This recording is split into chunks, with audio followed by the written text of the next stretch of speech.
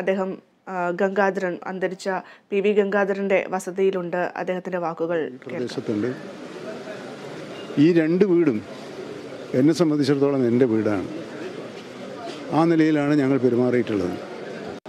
അപ്പോൾ വ്യക്തിപരമായി എന്നെ സംബന്ധിച്ചിടത്തോളം എന്റെ വലിയ സഹായികൾ അതിലൊരാൾ നഷ്ടപ്പെട്ട പ്രതീതിയാണ് എനിക്കുള്ളത്. അപ്പോൾ വ്യക്തിപരമായ ഒരു തീരാ നഷ്ടമുണ്ടാക്കി സമൂഹത്തിന് നഷ്ടമുണ്ടാക്കി.